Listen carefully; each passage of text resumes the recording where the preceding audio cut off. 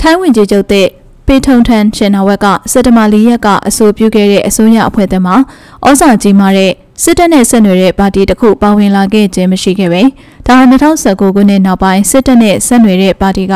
အစိုးရအဖွဲ့အတွင်းမပါဝင်တဲ့ပထမဆုံးဖြစ်စဉ်တစ်ခုဖြစ်ပါတယ်။ထိုင်းပြည်မဟာဝီဇယလန်ကောဟာစက်တဘာလရက်ကဖြူထိုင်းပါတီကနေပေထုံတန်အဆိုပြုတင်သွင်းခဲ့တဲ့အစိုးရအဖွဲ့သစ်စရင်ကိုတရားဝင်အတည်ပြုထောက်ခံခဲ့ပြီးပေထုံတန်ဟာလာမယ့်သတင်းပတ်မှာလွှတ်တော်မှာသူ့ရဲ့မူဝါဒတွေကိုတင်ပြပွဲရှိပါတယ်။အသက်38နှစ်အရွယ်ပေထုံတန်ဟာဝင်ကြီးချုပ်ဟောင်းသက်ဆင်ရှင်နာဝဲရဲ့သမီးဖြစ်ပြီးပြီးခဲ့တဲ့လကထိုင်းနိုင်ငံရဲ့အသက်အငယ်ဆုံးဝင်ကြီးချုပ်အဖြစ်ရွေးကောက်ခံခဲ့ရပါတယ်။အစိုးရအဖွဲ့သစ်ထဲမှာထိပ်သီးဝင်ကြီးအများစုဟာနေရပြောင်းလဲမရှိပေမဲ့လည်းစစ်တပ်အကြီးအကဲဟောင်းနဲ့အာဏာသိမ်းမှုမှာပါဝင်ခဲ့တဲ့ပရာဝုဝန်ဆူဝမ်ဦးဆောင်တဲ့ပါလန်ပရာချက်ပါတီ